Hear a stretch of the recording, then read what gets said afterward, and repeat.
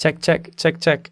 I bought this thing that is actually two minutes behind, but it's um, a timer that lets me see that we've been live streaming for what is it, 15 minutes, one hour, and right now is one hour and 18 minutes. It should be on the video. So this marker should go in sync with the actual timestamp, two minutes behind because I forgot to set it up uh, on time. So the idea is uh, that this timer or the features of this timer, it lets me stop it, make it keep going. I can set it to zero. And then we have the option to set it on again. So this would go up to 99 minutes 59 seconds and then we'll shut off.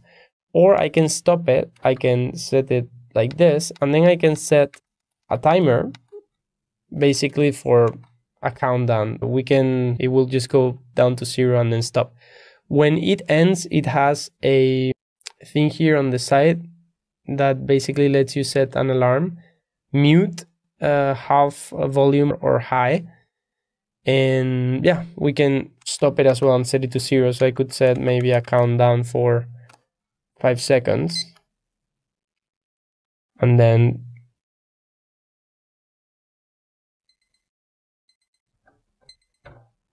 yeah, I guess if you switch it off and set it to eco mode, which is in there on the side, like lowering this thing, it goes into eco mode. But I think it needs to switch off before, so we can set it. We can set it to zero. It goes in echo mode, but if I click, I don't know, maybe okay. So now it's switched off, so I can click. I click, and I guess after a few seconds, yeah, okay. So that's eco mode. The light is dimmed, and that way you use less batteries. All right, so let's set this off. I won't leave it on eco mode. And I'm gonna leave it here. Ah, if you're interested, I can put the link. It's on Amazon. It's a fairly cheap device. If you want to support the channel and the content that I'm creating, go ahead and like the video and subscribe if you're gonna get notified when I go live next or when I upload new videos.